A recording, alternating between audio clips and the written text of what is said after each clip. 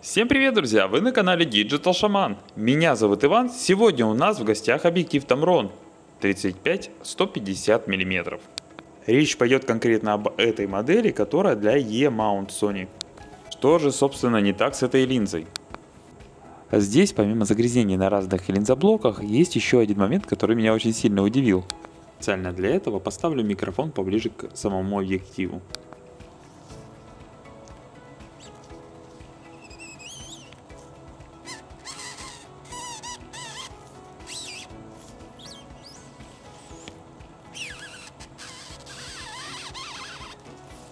Скрип и писк издает вот это кольцо, его необходимо снять, очистить от загрязнений, ну и также попутно очистить переднюю линзу и здесь еще устранить небольшой люфт на барле передней линзы, который появился.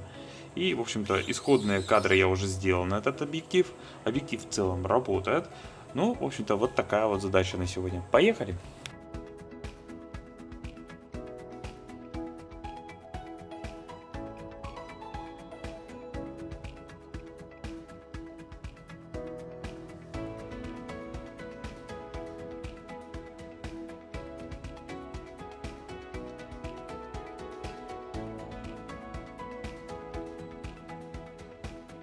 Итак, вот это место, где это все скрипит. Я еще резинку не снимал.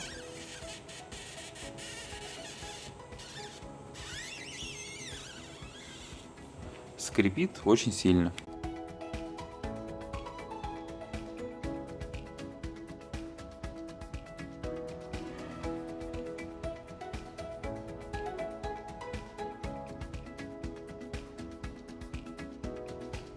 Итак, я отцепил кольцо от самого трансфокатора, а скрип продолжает быть.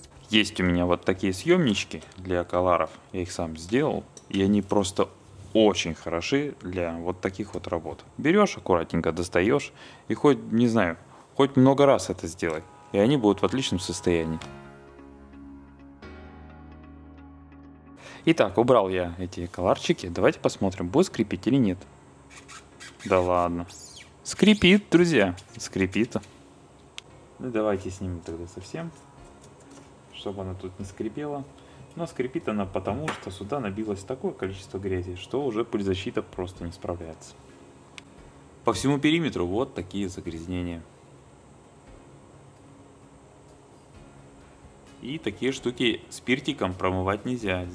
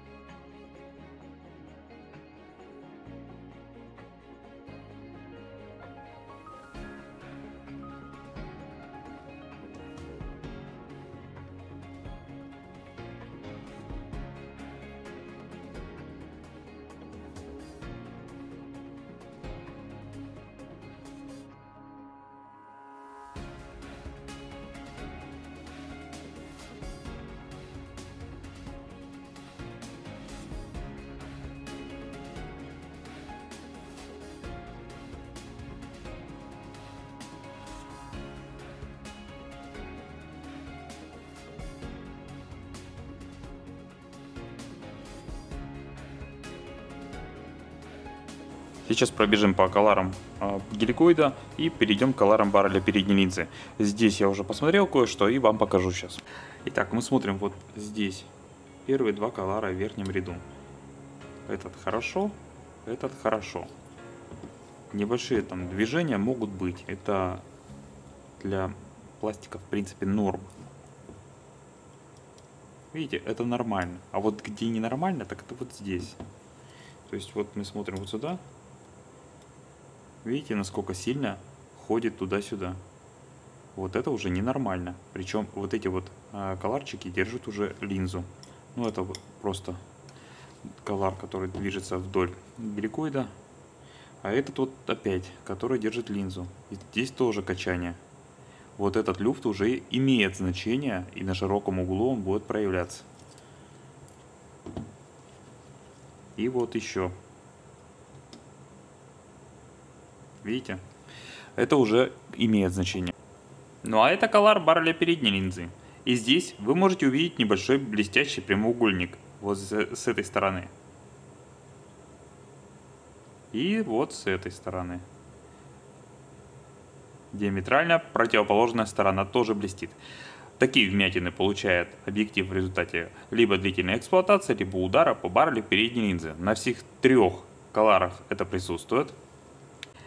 И только на колоре 3 он более отчетливо виден. Не знаю, здесь видно, не видно. Отчетливо виден. Вот он. А, сейчас мы разворачиваем на 90 градусов эти коларчики и баррель передней линзы снова находится в рабочем положении. Ну а это уже развернутый колар.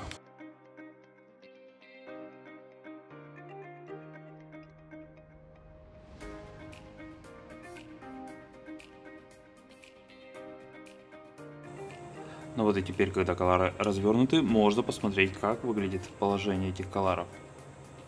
Двигаем. Видите, как плотненько? А я двигаю. Отлично. Линзу здесь необходимо почистить. Мы видим, что здесь вот загрязнение. Ну и начнем, пожалуй.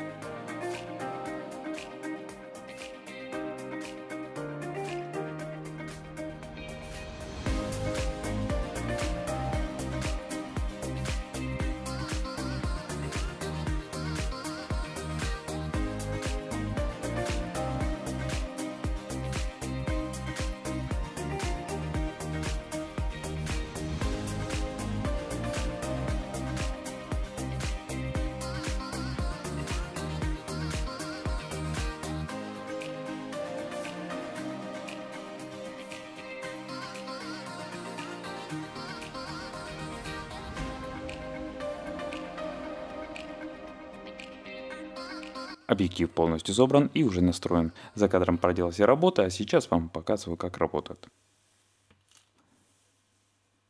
Хоть быстро, хоть медленно.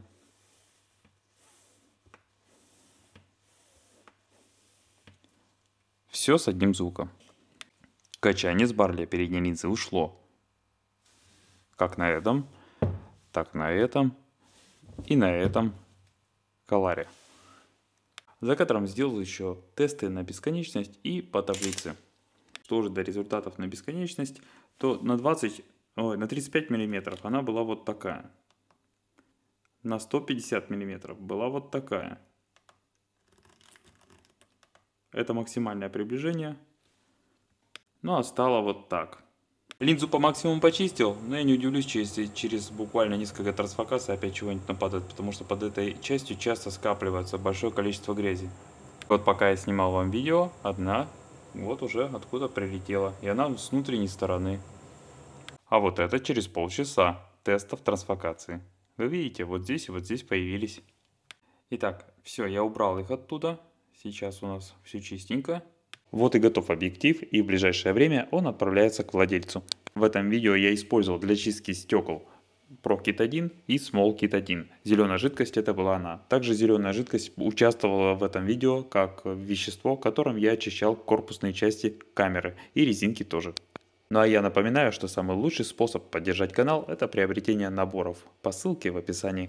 С вами, как всегда, был я, Иван, канал Digital Shaman. Всем вашим близким и родным крепкого здоровья в эти холодные осенние дни. Ну и лайк, подписка, комментарий. Всем пока!